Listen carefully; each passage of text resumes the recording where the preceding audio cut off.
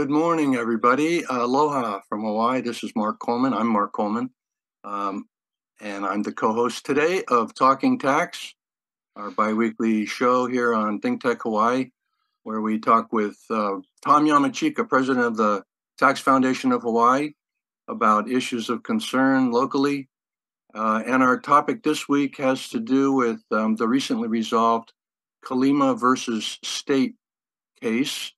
Um, that is a long running case that Tom recently wrote about for the for his column that is posted on the website at the at the uh, Tax Foundation of Hawaii, and uh, also published in newspapers statewide. So the the case essentially involved uh, a long running uh, claim against uh, the Department of Hawaiian Homelands by a class. It was a class action suit, and it took decades, and they finally resolved it in 2022 these people were alleging, uh, thousands of Hawaiian, Native Hawaiians were alleging that um, the state, the D- Department of Hawaiian Homelands, uh, was not meeting its fiduciary responsibility to provide them homesteads on uh, DHHL lands under the 1920, I think it was. Uh, yeah, the Hawaiian Homes Commission Act of 1920. Yeah. Right. So Tom wrote about this. Uh, there was a uh, uh, the the actual title of his article was called "Upsetting the Apple Cart in the 24 year in 24 year old litigation. It had to do with uh, a one claimant uh, filing. Uh, uh, uh, he actually submitted a letter at the very last minute before all the money was supposed to be handed out to the claimants. they had ruled in their favor, and they were supposed to all get some money. Um, but he filed, and when he found out he was only going to get zero, nothing, he filed a letter with the court and was disputing, you know, his situation and that threw the thing into upsetting the apple cart, as Tom said. So, Tom, I'm, I'm curious. Uh, uh, and then, as you point out in your article, Tom, uh, the Supreme Court jumped in and uh, in in October and ruled that Mr. Rivera, Ricky Rivera's uh, claim to to be owed something uh, didn't have any standing because he was too young at the time that he filed the the claim. Um, so, what was exactly your issue. The, the, the Supreme Court ruled you know, throughout his case. They said he had a right to file that, but that basically he had no, he didn't win. So um, now everybody's going to get their money. And I, I was curious why you wrote about it. Was it the was it the holdup uh, because of that one letter, or were you, or was it more the general issue that this case has taken so long? Well, it's it's it's kind of both of those things, but um, it I, I think uh, is very instructive that uh, you have something that you know people you know many many people have worked on for many many years, and uh, depending on how uh, people approach it, uh, it can all be upset by just one person. And let me kind of give you some background on uh, what's going on here as you as you correctly pointed out, this is a class action. It was filed in 1999, before the turn of the century, by by a, a, number of beneficiaries, know, Native Hawaiians who, under our uh, Statehood Act and Hawaiians the Hawaiian Homes Commission Act, which is a federal act in 1920, um, uh, the feds ceded them, uh, you know, ceded some lands to be distributed to, to Native Hawaiians, uh, you know, for uh, for various purposes. And there's been a problem getting uh, that land to these people. Uh, it's it's it's taken decades. Yeah. And, and and people have literally died while while on the wait list. Right. It's been, it's been a huge problem over over several years. And earlier this year, uh, we thought that this this this this travesty was going to be you know, finally come to an end when the state and uh, the beneficiary class reached a settlement, and uh, uh the uh, you know the, the judge presiding over the case uh, was really happy about it. Um, and and she had a uh, a hearing uh, to basically consider the fairness of the settlement and you know of, of course would take uh, anybody's input uh, into consideration when ruling on the fairness of the settlement. And and this is this is basically how class actions work.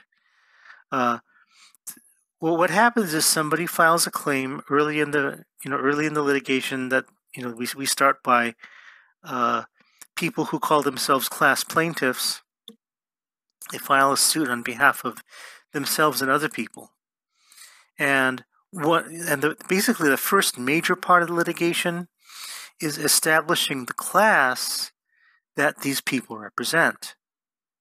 So it can be like a suit against a you know a, a company for securities fraud. It can be um, you know a, a, suit against a like a telephone company for allegedly leaking uh, personal information where it shouldn't have gone.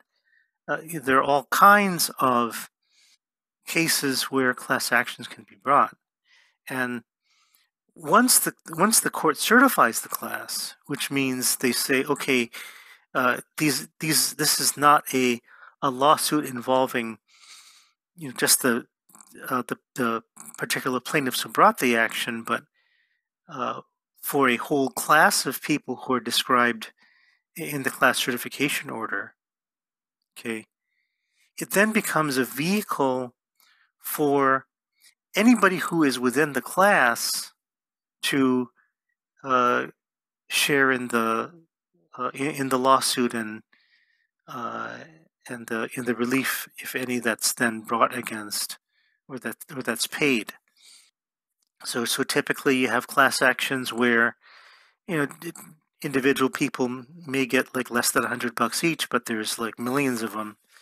So right. So those uh, settlements still tend to make news because they're multi-million dollars uh, once everybody's added up. So this was one of them. Uh, this is a typical class action suit, but but again, it goes back to 1999, uh, and it's definitely before. Um, you know, many of many of us who were involved in the, uh, you know, reporting of this case were even born. Uh, right. Not me, of course, but or me, or me. Yeah. So so we go through the process, and I think it's important to understand how the process works for, you know, people who are, you know, considering class actions or is, or have been a part of class actions. You know, once the class is certified, uh, the court sends notice to everybody who's in the class, and they have then the right to opt out if they want to and bring you know bring a lawsuit themselves or stay with the class and uh, participate in the uh, relief that is offered to the class. Now that that is usually, uh, you know, for for people who have small claims, uh, it's it's a lot more uh, resource efficient because you don't need a lawyer. Uh, the, the, the lawyer is basically hired by the class and yeah, the lawyer's getting some major bucks, but yeah, but it's uh, you know millions of claims. Yeah, or or at least not not millions, but uh, uh, claims too numerous to you know to to deal with individual suits. I mean, here we had a, a class of twenty five hundred beneficiaries at the yeah. time the litigation started. Right. So it was right. still a you know kind of a big number. Yeah yeah, and and and like I said, uh, the class and the state were about to reach a settlement. Um, $328 million uh, they agreed upon earlier in the year. And uh, the judge held a hearing on the fairness of the settlement, which notice of which was given to all class members. And she approved the settlement which which means that it was okay for um, beneficiaries to start getting their money. Okay, but then this happened, and what what I mean by this is that a single person wrote a letter, and his name was Ricky Rivera. He wrote a letter saying, I wish to file an appeal before the deadline of August 31st, 2023. The appeal is limited to the issue of special master and claim administration uh, failing to process my claim in a timely fashion. That's all the letter said. It's, he signed his name. Oh, So, like the like the judge and the you know the attorneys looking at that and saying, you know, what the heck is this? And they didn't really you know didn't didn't really quite know how to deal with it. Um, so uh, so the judge did something um, what I thought was fairly reasonable and said, okay, let's have a hearing uh, and invite this guy and figure out what he really wants. And it, and it, at first it seemed um, that everybody's going to go along with it. But then the state suddenly changed its mind and said, no, no, you can't do that. Because the letter says it's an appeal. And when an appeal is filed, the appellate court has to sort things out, and the trial court loses jurisdiction. So everything at the trial court must stop, is what the state said. And um, this uh, kind of uh, annoyed the judge to no end. Because, um, yeah, I mean, yeah, it's a, a, a, person who didn't have a lawyer. Uh, it's it's not a notice of appeal in proper form, but but you got to give some leeway to people who aren't lawyers. And um, and so here's what the judge said about it. You know, if any case demands that counsel bring to bear the full measure of their experience, expertise, and talents to develop and consider strategies for a thoughtful, constructive, creative, and legally competent resolution, short of disposition by the appellate court, is this one. The state sees otherwise.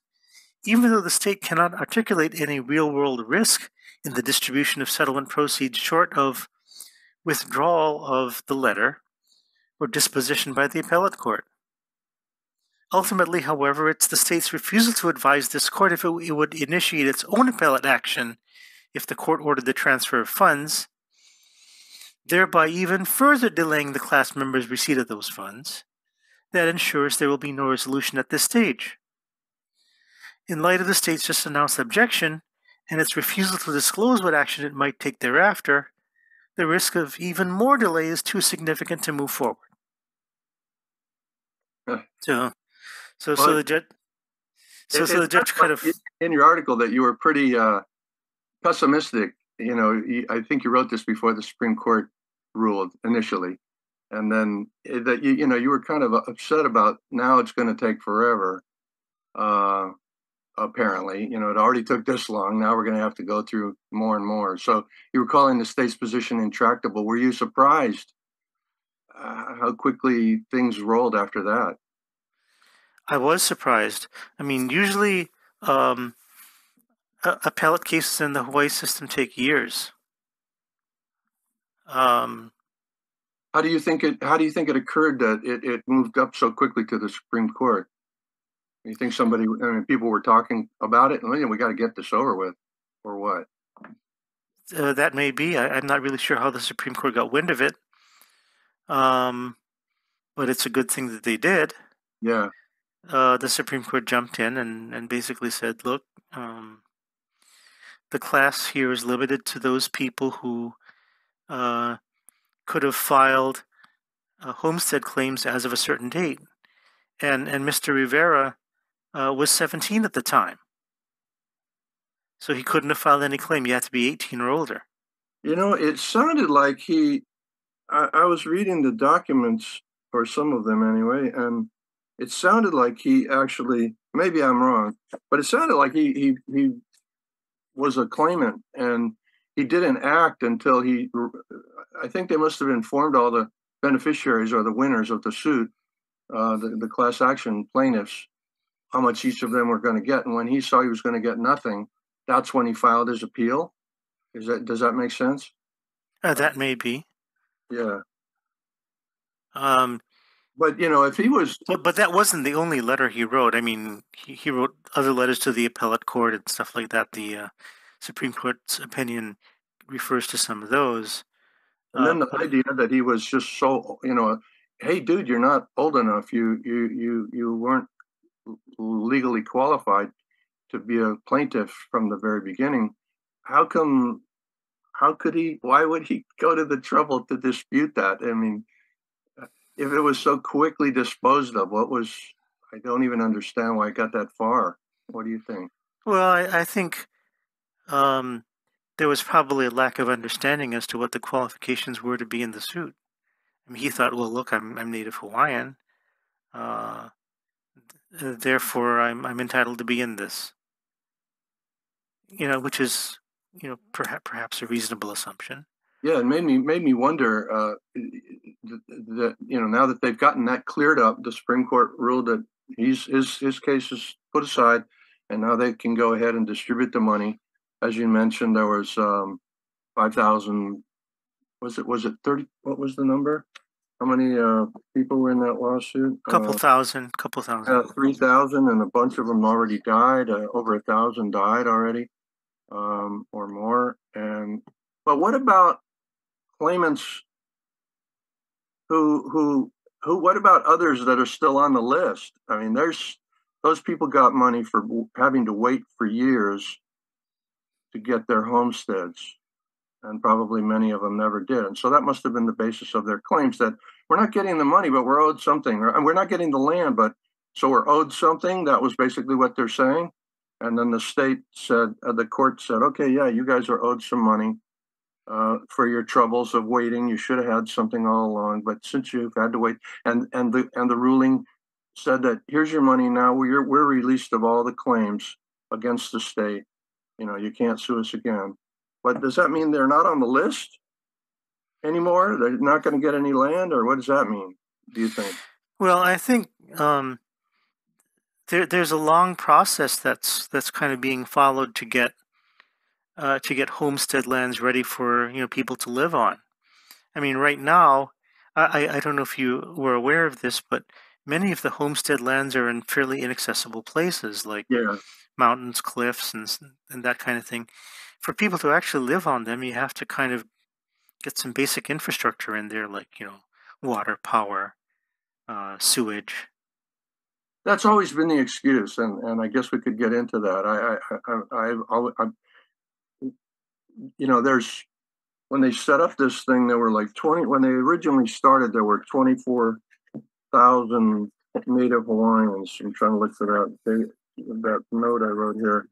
There were, um, and now there's, um, and at the time, there we go. Um, and now there's 27,000, I think. Um, I think it's actually more.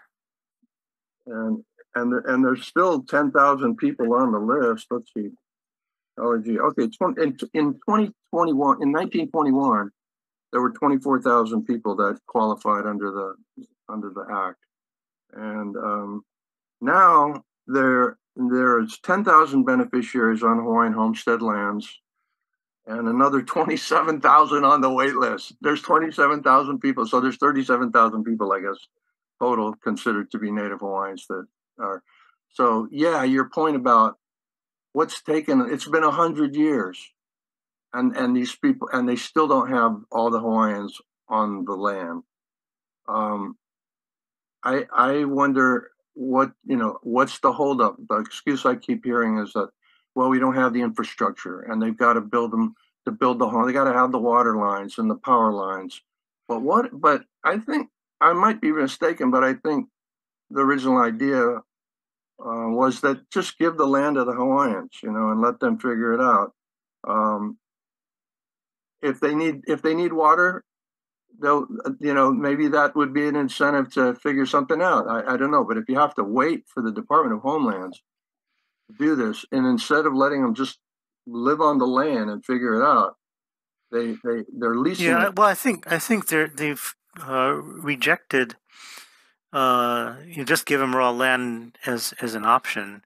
Uh, I think they came, they came to the conclusion some time ago that they get they have to provide basic infrastructure. Then uh, their defense over several decades has been, oh, you know, we have permitting delays. Um, we couldn't build on it even if we wanted to. Mm-hmm. Mm-hmm. Uh, and you know, with the with the permitting situation that we have here on many of the uh, many of the islands, that's uh, I mean that that doesn't sound like it's a lie. No, I I I I I've heard too uh, when I was doing a little research on it way back when that uh, one issue was that they would um, that sometimes they would award land to certain people and the people would say oh no i really don't want that parcel you know and so they'd go back on the list to wait for a better one. Um, that might be i'm not really sure. Um, but so so what it sounds like with this case is that the state basically is giving people money instead of you know making them wait forever to get the land does that does that hint that maybe a solution for the remaining people that are on the wait list? Um, why not give all of those folks an option like this as well? Well, I mean, they, they've been trying to do uh, other creative things, uh, as I understand, like um, giving them mortgage assistance or rental assistance, uh, even if they're not on homestead land. Mm, mm-hmm. um, because like, part of the deal was that, yeah, they get a parcel, but it's got to be in homestead land and there are designated tracts uh, where this is supposed to happen. Right. But but like I said, you know some of the, some of these uh, you know tracts are, are, are not accessible, and, it, and it's going to take some work to uh, you know to make them accessible and make them you know fit for human habitation. Well, you know they got six hundred million dollars a year or two ago, and and then another huge amount of money they've gotten a lot of money lately, and and now I suppose the state will have to cough up 328 more million dollars to to pay off this settlement. Um, you know, where does this all end? Uh, when they do what they what, what the feds have told them to do. do you think? You know, do you think? I mean, but do you think that the, it would be better to just kind of work out something with the claimants, like divide the land and you know put it in their hands and let them let the individual claimants uh, divide it up somehow and just be done with it? Well, I, I don't know if that's even an option. Um, uh-huh. Right. I mean, there's there's this federal process to be followed. I mean, I mean not federal process, but process defined by the uh, you know the, the 1920 federal law. Yeah. Well, my other thought is that is that now we have probably a whole new class of claimants and somebody else could file a lawsuit we could do this all over again. It could take another 40 years right to figure this one out or 30 years. Was it 99 yeah. Well, well maybe more. Uh, one of the things that we have been complaining about in the past uh, was that we've looked at department of hawaiian homelands and they get money uh, from like the federal government every year and they don't spend it uh, they they've had um, Native Hawaiian block grants uh, under a federal program uh, that was especially created for Native Hawaiians. Um, they had been getting like maybe I think fifteen million dollars a year, and they couldn't spend it down. Uh, the, the the excuse they gave at the time, uh, you know, uh, what they told the legislature was, "Well, we can't get the permits." so so we can't we can't construct. Um, and uh, you know that went on for a while, uh, and then you know finally the legislature said, "All right, heck with this." Um, and and and and by the way, there there have been allegations of systematically underfunding uh, DHHL for years, if not decades. Okay, mm-hmm. Mm-hmm. so the, so I think that was one of the uh, the issues in the suit, and um, ultimately uh, they got to do their jobs. The state has to do their job. Uh, that has been uh, they've been tasked with with you know you know back to statehood and before. Well, I you know I know we were going to essentially talk about the Kalima case, and rather than we are talking about the Kalima case. I know about uh, and but specifically about that. But you know, we we went broader focus here with the uh, DHHL's mission. What what is the, the uh, when you say, well, they just got to do their job? What is how do they do it? How can they do it? They've never they've had a hundred years. You know, I, I just think it's a broken system. Period. Uh, I think they ought to go. You know, what I think maybe doesn't really matter, but I my preference would be to see these uh, people just be given the land, let them homestead it, like, you know, become fee simple owners. But it just seems to me like there's an interest in keeping them as wards of the state, the Native Hawaiians. It, it seems like that to me. Um, and and we're just going to be in for more and more of this bureaucratic delay for for another century, um, with more claimants, more people dying on the waiting list, and and so on. Does that was that the broader message, or was the you know what was the broader message of your article about the Rivera uh, apple cart issue? What one thing I think that uh, that we have to be really wary of is like if you are you know hyper focused on procedure, and and it seems like the attorney generals here were, um, that it's it's very easy for a uh, you know a good uh, if, if perhaps maybe a little bit misguided effort uh, to to get into be a, a real pickle really quickly. Mm. So so I think um, it behooves uh, all of our you know civil servants and government uh, government officers and, and, and so forth you know, to, to to try and look at practicalities to try to come up with solutions to problems instead of saying, "Oh no, no, the process doesn't work." So, uh, so we got to stop right here. Yes, right. Which is what they did. Right. Um, well, work so, together, huh? Let's all work together, as we say at the Grassroots Institute. That's right. Where I work. Well, thank you very much, Tom. This has been a great discussion about pretty an arcane subject. Any last word? Well, I, like I said, I, I hope that uh, this settlement will be done quickly and and that um, cooler heads will prevail and kind of further, uh, you know, the, the further mission of the uh, Department of Hawaiian Homelands. Right on. Well, thank you very much, Tom. In, enjoying being here with you again. And thank you very much for all our viewers for being here. I hope you learned something today and had a good time watching. Uh, hope to see you again. Aloha.